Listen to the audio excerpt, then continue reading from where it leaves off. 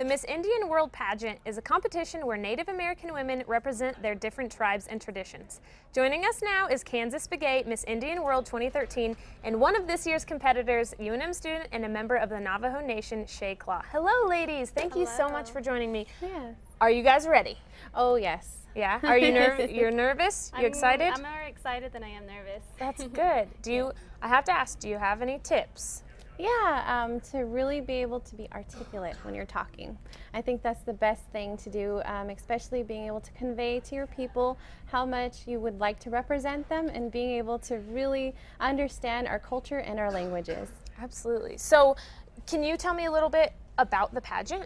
Yes, the pageant is actually almost a week-long pageant. You know, not a lot of people know that it is. Yeah. Um, it, we are they're judged on different categories, such as um, first they send in an essay, and then they do personal interviews, and then they do um, a traditional talent, which is Thursday night. So that's the funnest part of it, I think, for Okay. everyone to watch, and it's open to the public. All right, open to the public. We can go watch everybody. Yeah. So, you're a UNM student. Yes. That means you have to know how to write an essay. Yes. What did you write your essay about? I wrote my essay about why I want to run for Miss Indian World, and what I included in that essay was a lot about my why, a lot of what my family has taught me throughout the past, and what what I want to convey to the younger generation to really just cherish who they are, you know, and believe in themselves, and also I talked about, you know, how we as Navajo people, we we have four values and it's love, hope, faith, and charity, and that's what I want to convey to the public, and that's what I included in my essay. Okay. So, okay, when they tell you you have to write an essay, do they give you a word count that you have to follow or a page count? Um, page. Yeah, I They think do? it was this year. It was two pages. yeah. Okay. So you do have a talent. What what is your talent? I will be presenting the Navajo basket, and it's also known as the Navajo wedding basket. And my grandmother actually taught me how to make the basket, and that's what I'm going to be presenting to everyone. Very cool. So what was your talent?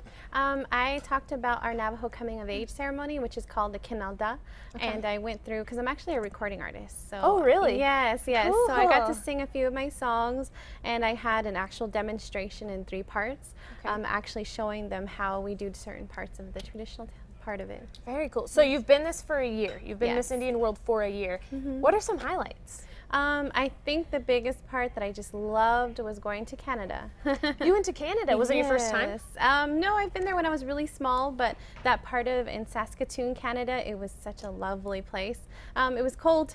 Yeah, it was very cold during the time Especially I went. here. Yes, yes. But you know, I was able to take part in the part where they were raising one of the flags.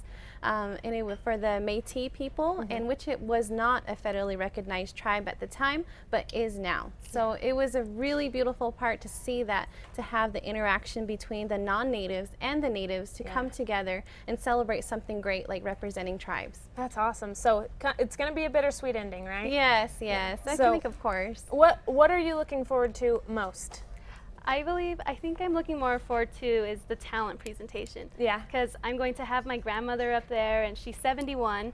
So, That's so cool. Yeah, and then I'm going to have my niece also, and she's going to be, you know, portraying me when I first learned. So that's what I'm looking forward to. And my whole family's going to be out here for it. That's great. And everybody else can watch also. Can you remind our viewers when and where they can watch? Yes, they can watch um, at the Gathering of Nations website for Okay. the powwow part of it, and they can also come, like I said, Thursday night for the, the convention center. It starts at 7 p.m. And also Friday night, they have the traditional dance part of it at the Gathering of Nations powwow. And then Friday night, uh, Saturday night is the Very cool. That's so exciting. I'd be nervous and excited, but all good feelings. Thank you, ladies, so much. So, if you want any more information about this event and where you can see these two lovely ladies, just go to kasa.com and click on the style blog.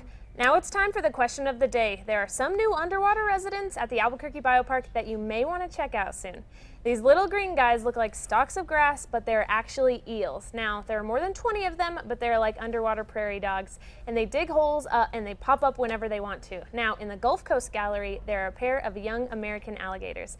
And today we're talking all about Run for the Zoo coming up on May 4th. So, what we want to know from you at home what is your favorite animal or activity at the ABQ Biopark? Let us know. You can like us on Facebook, you can follow us on Twitter, and as always, you can go to kasa.com and leave us a message there. Just go to Style Blog. All right, ladies, favorite Albuquerque Biopark animal or activity? Let's hear it. Um, I really like the jellyfish. The They're jellyfish. so colorful. I forget about the jellyfish. Yeah, they like they're purple. The- oh, yeah, I they love the glow. jellyfish. I, I forgot about that. That's a good answer. Yeah. Okay, what about you? I think I like the sharks. Just like you know, like the small ones. Don't they Oh, have the like the, little little, baby shark? sharks, Yes, those yeah. are they're adorable. Yeah, I was telling everybody my favorite animal of all time is hippos. I Hippos? Oh, love yes. hippos. I wrote a book about hippos once, and I'm so into it. But did you know our Albuquerque, our zoo is nationally ranked? Isn't that oh, awesome? Yes, that is awesome. Well, Yeah. it's always good when New Mexico gets a good rating for something. exactly. I love it so much. So yes. Thank you, ladies, so you. much for joining us, and good luck this weekend. I, Yes.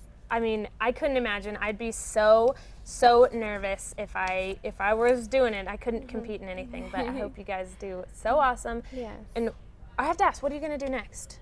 Um, I am actually a recording artist, like I said, so I am going to release a new album this coming year. Very cool. So, and hopefully go for a Grammy. So that would be nice. And also finish, uh. I'm going to start my master's degree program since I graduated from UNM here as my So much. bachelor's. So, Both. Okay, so she's going to UNM. You graduated from UNM, and you're gonna go back. Yes, yes. You guys are yes. doing it all. Yes, Well, doing everything. yeah, still to come this